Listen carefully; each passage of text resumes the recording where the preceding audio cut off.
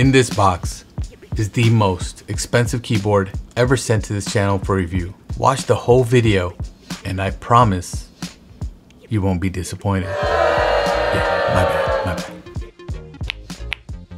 Hey y'all, welcome to Clackbait.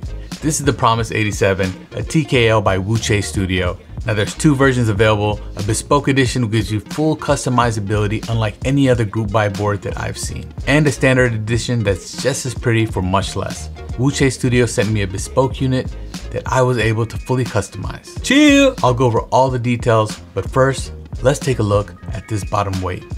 Hit the B-roll.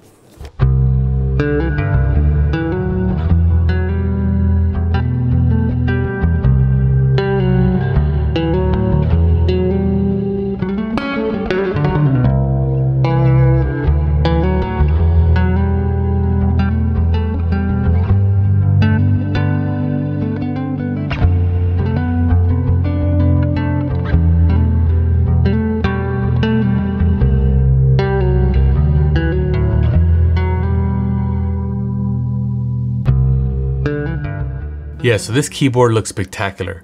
I was nervous about how it turned out since I had to imagine the color combos in my head, but I think I did aight.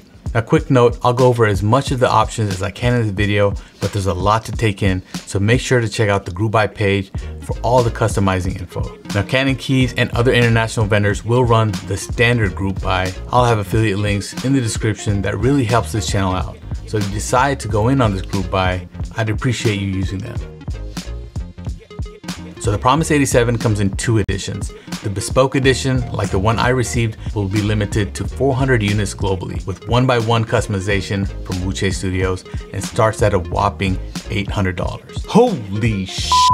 For the bespoke version, you'll be able to customize the top and bottom case colors with the nine available case colors to select from. You can go with or without the accent lines under the TKL cluster or the blockers, with or without that moissanite stone. You can customize the back accent line in PVD mirror, gold, silver, black, or prism. The chamfers also in the same colors.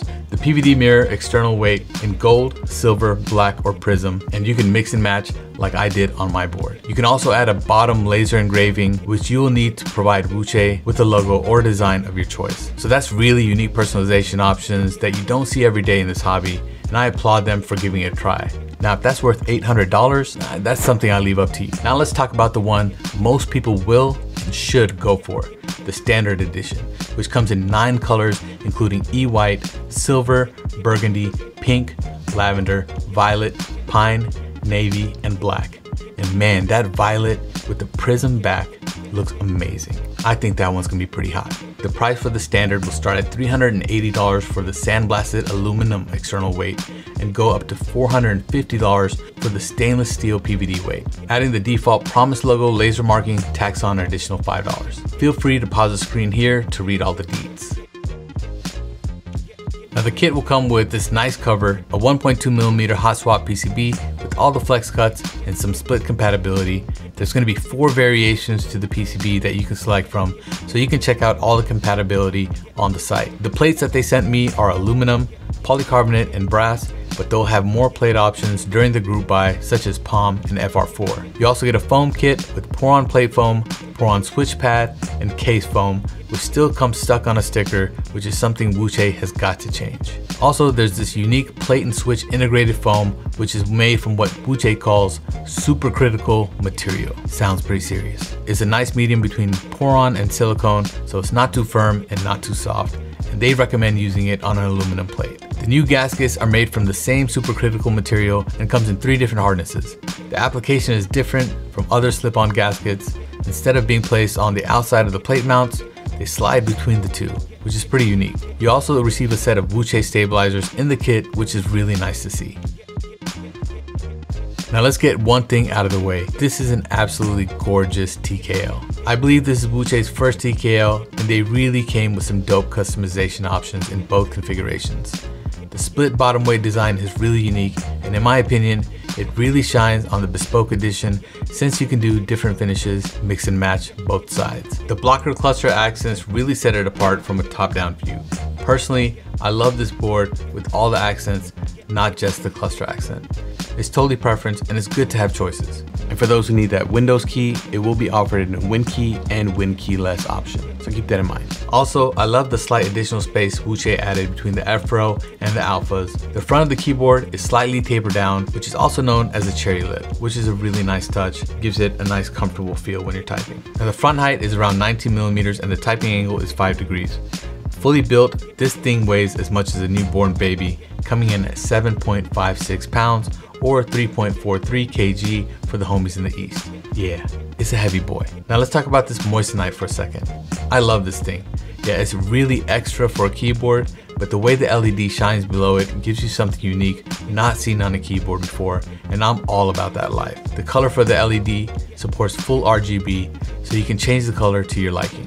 Now this is a quote unquote screwless design, which uses internal screws to screw down the top and bottom case, similar to the Mammoth 75. Although I understand it allows for a cleaner bottom, especially with this gorgeous weight, it's my least favorite thing about this board. If you want to open the case to do some mods, you have to remove a bunch of keycaps and switches to do an otherwise simple task. I'd love for Wuque to look into a new method here. But besides that, the build process is pretty simple. The typing feel for this board is nice and soft. There are three gaskets that slightly change the typing feel. From the softest to the lightest, it goes blue, white, and red.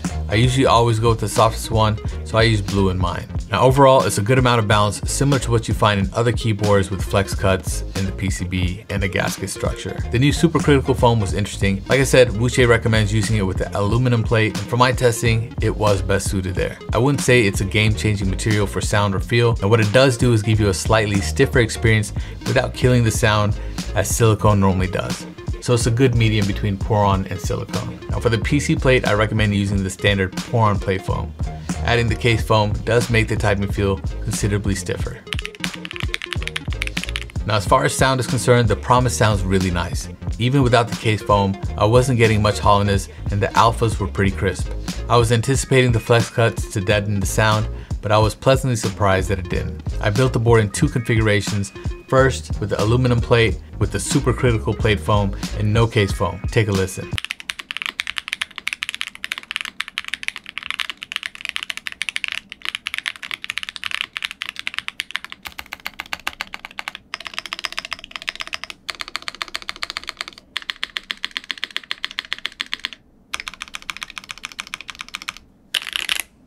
Now next, I threw in the PC plate with the Poron plate foam, no case foam, and no Poron switch pad.